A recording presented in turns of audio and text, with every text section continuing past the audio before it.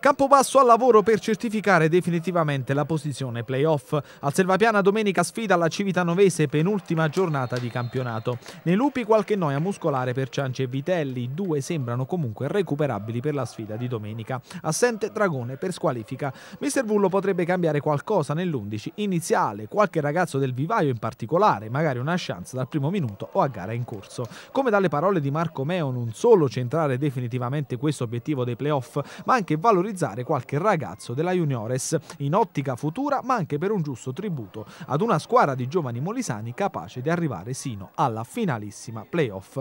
In tal senso sabato a Celano per la finale Juniores tra i padroni di casa e il Campobasso, la nostra emittente sarà presente con diretta a partire dalle ore 16. Campobasso dunque che vuole la vittoria. L'avversario di turno ha vissuto una stagione davvero travagliata. La Civitanovese esattamente un girone fa batteva i lupi 2 a 1 e si piazzava alle spalle della Maceratese, decisivo Degano con una doppietta. Poi il crollo societario e di fatto l'abbandono di ogni tipo di velleità. Come riportato anche ieri, la squadra marchigiana non si allena ormai da fine fine febbraio. I giocatori si ritrovano solo il sabato per preparare in qualche modo il match della domenica.